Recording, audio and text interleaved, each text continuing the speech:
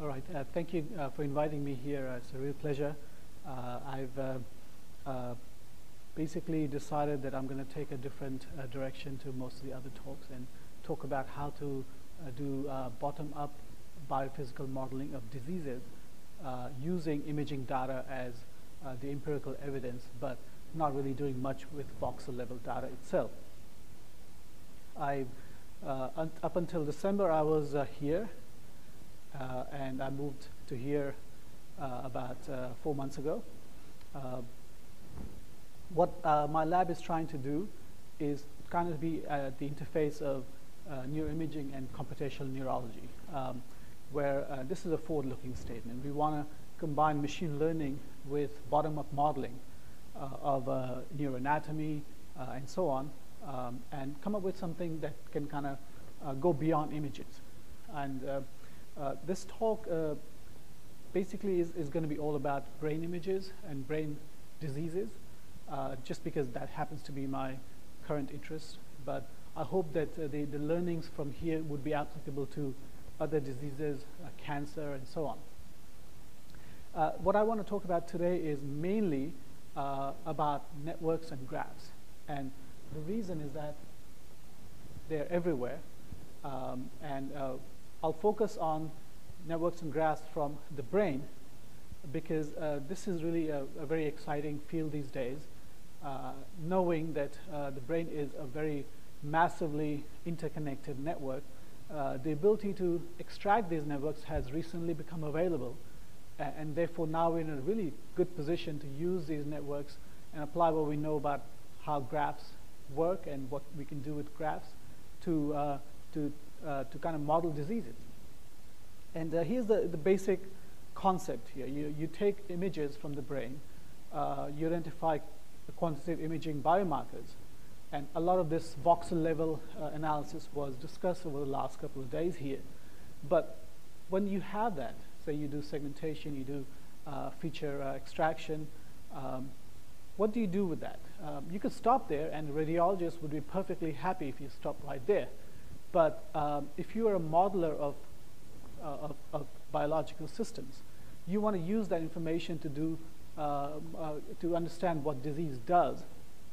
And so, in the context of the brain, one of the first things we want to do is to extract networks from the brain. We want to kind of discretize voxel level data onto a graph and then use the graph itself to do mathematical modeling for various applications like predictions to guide treatment, therapy, prevention, and so on.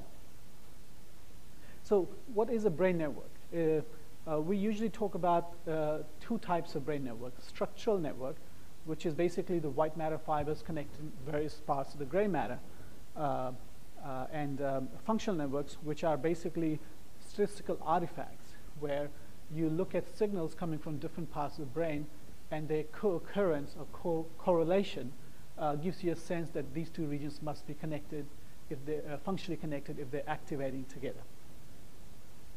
So I'll uh, rush through this uh, in a bit of a hurry uh, because I want to get to the modeling stuff, but um, uh, you can obtain these kinds of networks now from in vivo imaging data.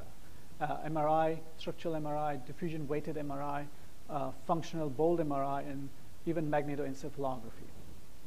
These are mature fields now, uh, and I just described uh, the functional network. Uh, you can obtain functional networks from fMRI, but also from things like magnetoencephalography, where you put a bunch of electrodes in the scalp, do source reconstruction to understand where the signal is coming from, and then exactly correlate uh, uh, re, uh, different parts of the brain, signals from different parts of the brain to obtain connectivity, function connectivity networks. And an example of this is shown here where people found that different parts of the brain uh, seem to be uh, belonging to two different anti-correlated networks that did different things at different times. This is from MEG data. Just an example. Um, to obtain structural networks, uh, you need to know the physical wiring of the brain. Uh, and up until recently, this was not possible uh, in vivo, but with diffusion-weighted MRI, we are now able to do this. So what diffusion MRI does and I'm sure uh, described this yesterday, so we'll belabor it. Uh, it basically measures the propensity of water molecules trapped within brain tissue to diffuse in one direction or another. And once you know the directional preference of diffusion, you can infer that there was a fiber bundle there because uh, water doesn't like to diffuse across fibers, it likes to diffuse along them. Uh, the basic uh, uh acquisition strategy is, is, is, that you create diffusion weighted gradients uh, and you apply different directional gradients and obtain different diffusion MRI images and you process them. Um, you acquire directions at various points on a unit sphere. And when you have all those acquisitions, you use an, uh, a reconstruction algorithm to reconstruct that thing on the right, which is what we're interested in. Called, we call it the fiber orientation distribution function, which tells you approximately what directions a water molecule would like to take in that voxel. Uh, and those things are really useful because they tell you uh, about the underlying fiber structure in the brain. And here is an example uh, where you see that the green blob uh, denotes that there is probably a, uh, you know, forward to backward, the front to back fiber in that part of the brain tissue. You take a bunch of these uh, ODFs and you string them together and using computational tractography algorithms, you get basically get this, which we call a whole brain tractogram. Uh, this actually happens to be my own brain, uh, so you notice how beautiful it is. and that's great, but we can't do math on that. So what we want to do is to take it from the tractogram to the connectome, and I'll tell you what I mean by that. So you take diffusion MRI, structural MRI, co-register on top of each other, parcellate the structural MRI into gray and white, parcellate the gray matter into various regions of interest, you seed them uh, and do tractography and basically count how many streamlines go from one region to another. And that gives you a graph shown at the bottom again, what we've done is we've abstracted this tractography data set into a mathematical object where nodes of the graph represent brain regions and their connections are weighted depending on how many fiber streamlines went from A to B. And that basically uh, can be represented by this uh, adjacency or connectivity matrix shown here, C, uh, where uh, rows and columns are brain regions. The first thing to know about these connectomes is that disease changes these patterns. And here's an example uh, of, of, what would happen in, This is in temporal lobe epilepsy. Uh, and again, it's, I'm sure it's impossible for you to see how they're different. But small differences in the connectivity uh, matrix uh, can have a pretty large impact on what the disease does to the brain. Uh, and one of the first things we want to do is to use graph models to model how disease affects uh, the brain.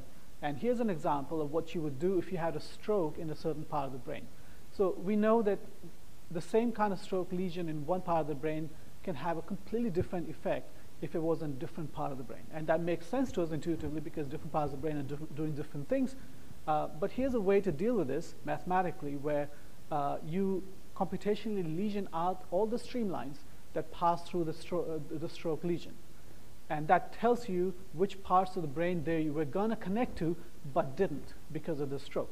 And when you do that, you can come up with these uh, projections of the lesion out to the gray matter. And, and, and that's shown on the right. Um, and it turns out that these projections, which we call uh, uh, change in connectivity scores, uh, uh, are much better correlated with functional outcomes than the lesions themselves. So that's an example of what you could do if you knew connectivity and the connectome. So this is uh, uh, what I really want to focus on today. Uh, how do we develop models of network spread? Because everything on in the brain is really a process of spread on the network. Uh, and what do we do with that? I'm going to start with neurodegeneration, Alzheimer's disease, dementia, Parkinson's, where it has been known for a long time that these diseases are, are highly stereotyped person after person after person. You see, if you have early memory disease, you start with the mesial temporal lobe, spreads to the temporal areas, uh, parietal frontal, in approximately the same pattern. And now we know that these are because uh, uh, the, the underlying pathology happens to travel along these network connections and go and skip from neuron to neuron uh, by means that we, by, by methods we don't quite understand, but there's a lot of animal imaging data and, and studies. And apologize for the font there, but uh, they were supposed to tell you about some papers that, that describe this. Um, so knowing that that is what's going on, uh, as a graph theory person, you would know automatically that you can model that if you knew the structural connectivity of the brain. And this is what we tried to do. This was several years ago now, where we uh, came up with a network diffusion model of the spread of dementia within the brain. And the idea was to replicate what happens uh, from pathology scans, uh, pathology uh, data sets, where we know that the, the pathology is highly stereotyped. In order to do this, uh, we have a whole pipeline where we take uh, um, MRI, um, uh, structural MRI from patients, we compute regional atrophy measures, we co-register that on top of the, the tractography data, and therefore what I'm showing on the right is, is, is meant to suggest that atrophy patterns for a brain region are, are basically, brain regions are coincident with graph nodes. So the nodes of the graph have atrophy values, and connections come from DTI, tractography. So now we're ready to do some uh, graph theory modeling, where we assume that the signal X is basically the concentration of the pathology, uh, and we say, all right, if you start with region 1 and it's connected to region 2, uh, how would it spread to the second region? And, and to do that, we thought that the simplest way to do it is to model it with uh, classical diffusion, where, which follows just two rules, that the rate of diffusion depends on the concentration gradient between regions and also the fatness of the pipe, which is exactly what the connectivity is between two regions. So uh, on the top, I'm showing you the first order diffusion equation, which you know is uh, laughably simple. Uh, but when you stack it up on the whole network, you can write it as a vector valued first order differential equation, now involving the graph Laplacian H. And it turns out, obviously, because it's first order, um, it has a closed form solution. Uh, so if you knew an initial pattern x0, you could predict all future patterns of spread uh, via its operation uh, with uh, what we call the diffusion kernel, the exponential matrix exponentiation shown there. Uh, and this is kind of incredible because in, in biophysics, it's almost impossible to obtain closed form solutions for anything. So when you see that, you kind of have to celebrate a little bit. Uh, so in any case, uh, we know that this, this is not a new thing. Uh, it has been known as the graph heat equation for a long time. Uh, and because it, the kernel involves matrix exponentiation, you would evaluate it typically using the eigen decomposition of the Laplacian. Uh, and so what you will see is that because the Laplacian eigenvalues range from 0 to 1, uh, the, and because they're weighted by uh, the ex negative exponentiation of the eigenvalues, the large eigenvalues would die away quickly, which means that the summation that tells you what you would see in the future will be dominated by only the first two or three eigenmodes, or eigenvectors of this Laplacian. Uh, so to test this, uh, we first uh, started with the hippocampus, which is one of the earliest affected areas in Alzheimer's disease, and let the graph diffusion process play out. And that's shown on the top row, and you'll see that it more or less recapitulates the spatiotemporal progression of Alzheimer's disease as we know.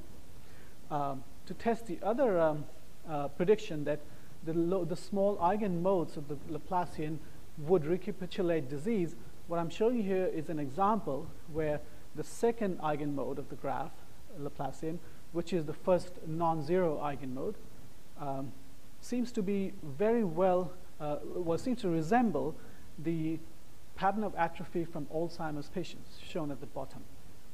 Um, a word about the rendering here, the, the, the spheres represent brain regions, and their uh, uh, diameter represents how uh, big the uh, atrophy or the eigenvalue there is, eigenvector there is.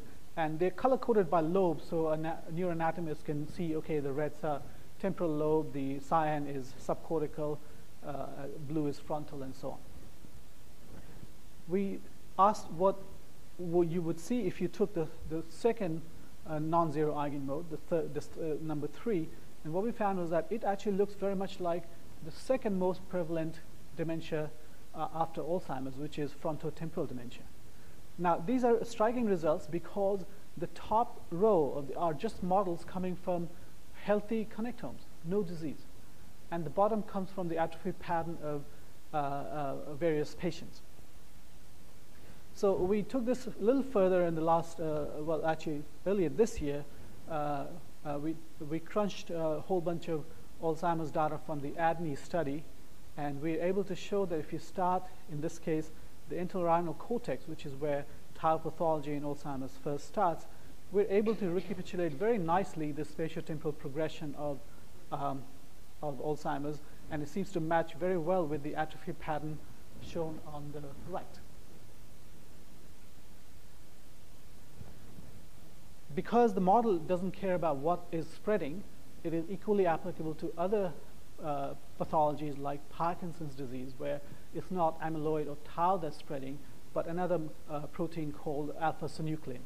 Uh, and here this is an example showing what happens if you see the substantia nigra, which is one of the earliest affected uh, uh, regions in Parkinson's brains. And what happens if you play out the network diffusion model, and you see that it, at some point it starts resembling quite nicely the empirical Parkinson's atrophy pattern from a very, very large uh, public Parkinson's data set called PPMI. And that's great. but we also want to uh, dive deeper and try to understand whether the fact that network transmission, network diffusion can explain these patterns doesn't mean that there aren't other factors that can also explain these patterns. One that people talk about is called selective vulnerability. The idea that different parts of the brain are selectively vulnerable to different uh, degenerating pathologies, uh, uh, like hippocampus in Alzheimer's and substantia nigra in Parkinson's. So we asked the question whether if you use the innate healthy gene expression patterns from different parts of the brain and use that as a surrogate for whatever molecular factors are responsible for making some regions selectively vulnerable, uh, if you add that to a, a, um, a, linear model, a statistical model, along with the network diffusion prediction, which one would win? And the idea is we want to see uh, the pattern, which, which is the best correlate of of uh, atrophy patterns in Alzheimer's. And what we found was that no matter what we tried, what combination of genes and the network diffusion model we tried, uh, only the network diffusion model actually is predictive of the patterns of atrophy in Alzheimer's disease. Um, and, and for this reason, uh, this, this, purpose, we chose only the, the top genes that are actually known to be involved in Alzheimer's disease from GWAS studies. Um, and so, and what I'm showing you here is the uh, uh, negative log uh, p-value uh, of various uh, uh, predictors in the model. In each case, you see that the prediction predictive power is dominated by network diffusion, and none of the gene predictors are super significant. So um, that, that tells you that maybe the network is what's causing or, or is responsible for the patterns that you actually see in disease. And if that is true, uh, we can then take it forward. And because the network diffusion model is, is basically deterministic, uh, why don't I take baseline scan, extract the pattern of atrophy in a patient, and play out the model for future time points and see if we can predict longitudinal changes in these patients. And, and again, we use the ADNI data set with, which has about two to four years longitudinal follow-up on most subjects. And we published this a couple of years ago, and we showed uh, that it works. And here's an example of how it works in Alzheimer's disease, where the leftmost glass brain is baseline atrophy, and the other two are projections from the model, uh, uh, which is great because you can see that uh, in, in, in, all cases, the, uh, the subcortical regions in yellow and the temporal regions in, in red are going to dominate, which are the regions look, we need to look for uh, if we, if, uh, for, to, for cognitive impairment. So uh, that's great, but we knew that about Alzheimer's. If you're Alzheimer's, we know you have Alzheimer's, so no, no value added. The value added comes when you look at early subjects called mild cognitive impairment, MCI. And I'm just giving you two illustrative examples. At the top is uh, an MCI subject who converted to AD uh, during the course of the study. And you see that um, on the left, their baseline pattern has a lot of uh, subcortical and temporal atrophy, but perhaps on, at low levels. And this person was rightly projected to turn into uh, full, full-blown Alzheimer's uh, basically focus on the uh, ellipse because that's where we expect to see cognitive impairment. The interesting thing is that there was a subject who did not convert to AD, and you can see that, yes, at all time points, the, the atrophy gets worse over time, but not in areas we typically associate with cognitive impairment. So this is a way of, of using such deterministic models to uh, do prognosis about a particular patient. We did a whole bunch of statistics on all the data uh, sets available, and we found that uh, we were able to improve the, uh, the, the correlation between predicted atrophy and real atrophy at future time points uh, by a substantial uh, amount. And um, I mean, I just want to point out that this is actually an important clinical application uh, because if, you if you're an elderly person, it's not sufficient for you to know that you have memory impairment. You want to know what the future holds for you. And, and that's important for the, the patient, but also for their caregivers and also for their physician because they need to prescribe uh, tr tailor treatment planning based on uh, what might happen to them in five years' time. So th this kind of thing can be really very useful in the clinic. So of course, you guys have been uh, uh, talking about big data science, uh, deep learning, machine learning. Uh, this is the opposite of machine learning, what I just described. Uh, you have a bottom-up model project out into the future. You're not using statistics, statistics to learn. However, I feel that uh, um, I think the two are not mutually exclusive. what you may want to do is something hybrid, and the previous speaker alluded to that. If you know something about the disease, use it and take it as far as you can take it and use machine learning and, and deep learning methods to take it the rest of the way. And, and, and this is the kind of direction I, my lab is really heading into. Uh, we want to basically combine first principle models with the statistical uh, uh, data mining models and come up with something which either of them cannot do by itself.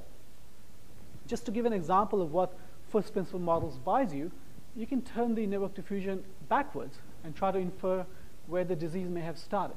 And we published this paper in Brain uh, also this year, where we showed that on the atrophy patterns from uh, patients' baselines, we're able to really uh, kind of drill down to and go back in time of these patients and to figure out where the disease comes from. Uh, and this can also have its own clinical relevance because knowing where the disease came from uh, would tell the neurologist something that they did not know just by looking at the baseline pattern of disease.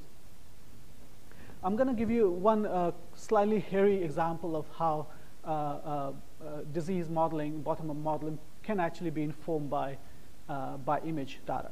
And here I'm going to talk about Smoluchowski coagulation theory, which basically uh, was proposed uh, decades ago to, to model how various oligomers kind of you know, coagulate together to become polymers of bigger and bigger sizes.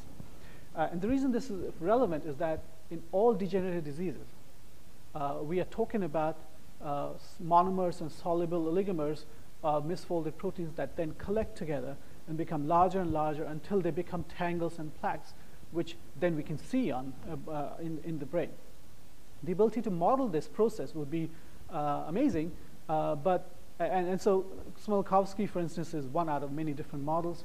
They've been around for a while, but until recently, there's no way, no way to test it on in vivo imaging data. Now that we have it, uh, uh, and here's an, uh, basically what seems to happen is say uh, first order differential equation, again, where you talk about how aggregates get together. There's uh, reaction kinetic terms uh, that are unknown. So these are very high dimensional models that can't be fit very easily to real data.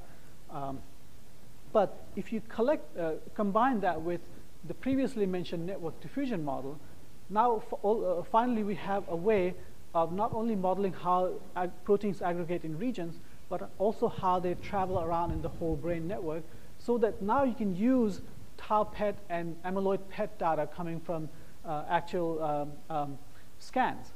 And uh, um, I'm not going to show, let's just, let's just say that the model predictions of that combined model uh, seems to agree very well with the patterns of tau PET that we measure from uh, Alzheimer's patients. So um, uh, in the last few uh, minutes remaining, I want to focus on another set of models uh, uh, that get to the structure function question in, in computational neuroscience, which is the idea that how does the structural connectivity or the wiring of the brain lead to the functional pattern of activity we see? Uh, and this is a really important question. Uh, and in the past, people have come up with these uh, very hairy couple of differential equations that model the, uh, the neural masses located at each end. And by doing very long simulations, you can obtain a prediction of how that the wiring leads to function. Uh, we thought that was needlessly complex. and so we came up with a very simple network diffusion model to, to model how uh, activity might spread in the brain. And if you are paying attention, you notice that this model is basically identical to how we were modeling the spread of pathology. Completely different things. But uh, the value of a, of a simple first order model like diffusion is that it is so universally applicable. And again, you can predict functional connectivity at the bottom left from the Laplacian of the structural connectivity. And, and that's uh, like one of the simplest things you can do uh, and we were able to show that the parameters of the model fit between structural and functional connectivity actually have clinical relevance. Here's an example of what happens in disorders of consciousness. These are very, very highly uh, traumatic brain injury patients who were almost comatose, and uh, uh, a year later, they, uh, some of them underwent functional recovery. We were able to show that at baseline, the diffusion time parameter from the model really fits very well, uh, is, a, is very predictive of one year later functional recovery. So these models can add value to the clinic. Uh, another thing that came out of the structure function uh, um, uh, model was that the eigenvalues of the structural Laplacian and the functional connectivity must be related by, the, uh, by an exponential decay function. And we tested that on real data, and we found that to be the case as shown here. And what this also means is that if you take just a few Laplacian eigenvectors you can almost basically rebuild the functional connectivity matrix starting from the structural connectivity matrix. And, and that's great because uh, it finally helps you connect structure and function in, in the human brain. Um, so um, in the interest of time, I'll just quickly talk about what I'm planning. Uh, and this is where I need a lot of help from, from you guys if anybody is interested. Uh, what I want to do is to use graph theory to turn neurological and pathophysiological knowledge into testable mathematical models. And I think this is a really amazing opportunity that we have now to develop a multimodal tracker of dementia and other degenerative diseases. Um, we want to add machine learning and deep learning, as I mentioned before, and uh, uh, come up with computational biomarkers of neurodegeneration.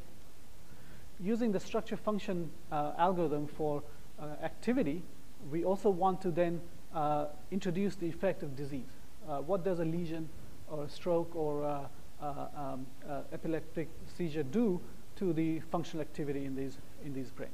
And we want to come up with a network dynamic workbench, which is under construction, where you'd just be able to uh, use a browser to go in there and insert your own lesion pattern and see what functional uh, uh, and other uh, consequences of that pattern uh, on, the, on the brain would, be, would lead to.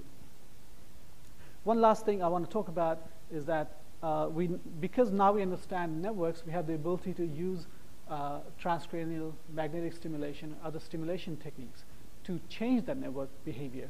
And, and uh, we want to uh, be able to combine network models with TMS and other uh, stimulation techniques uh, in a way that is efficient. And here I'm thinking about phase array set of mini TMS probes and for this, if there's any electrical engineer out there uh, want to work on this, uh, coil designers, please let me know. That would be amazing. Uh, I want to stop here. Thank you.